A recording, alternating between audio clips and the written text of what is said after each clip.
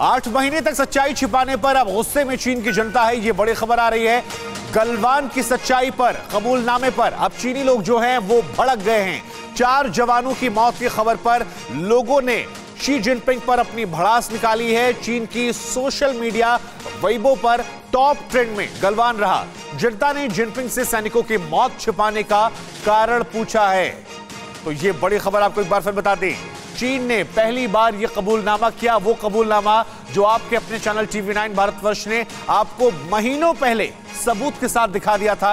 उस कबूलनामे के बाद अब चीन की सोशल मीडिया वेबसाइट पर वहाँ के लोगों ने टॉप ट्रेंड करके शी जिनपिंग से सवाल पूछा कि आखिर आपने इस खबर को छिपाया क्यों?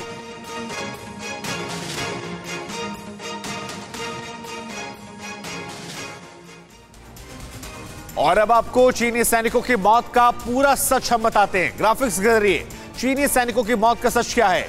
तो रूसी सरकारी एजेंसी तास जो है, वो ये कह रही है कि भाई 45 सैनिकों की मौत हुई है। एक दो नहीं, चीन चार कह रहा है, रूसी एजेंसी कह रही है 45 अमेरिकी अखबार न्यूज़ वीक कह रहा है कि 60 चीनी सैनिकों की मौत हुई है।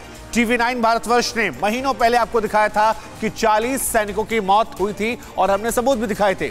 चीनी सोशल मीडिया उनतालीस सैनिकों की मौत की खबर को वायरल कर रही है। यानी चीन के दावे से हर कोई कई गुना इतर ये दावा कर रहा है कि चीनी सैनिकों की मौत हुई थी। यू स्टॉप नाइन रोज सुबह सात बजे और शाम सात बजे, सिर्फ़ टीवी नाइन भारत वर्ष पर।